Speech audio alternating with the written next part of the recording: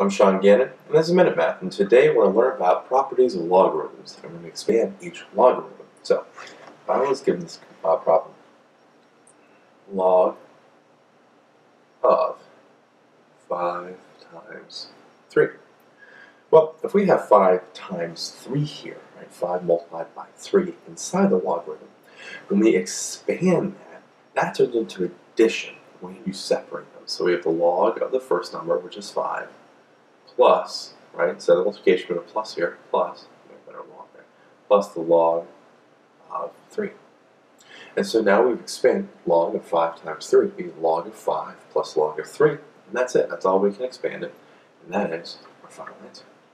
So a quick recap here, right? log of 5 times 3, when we see that multiplication, that directly represents when we expand to an addition outside and we put a log of 5 and a log of 3. Again, giving us our final answer here of log of 5 plus log of 3.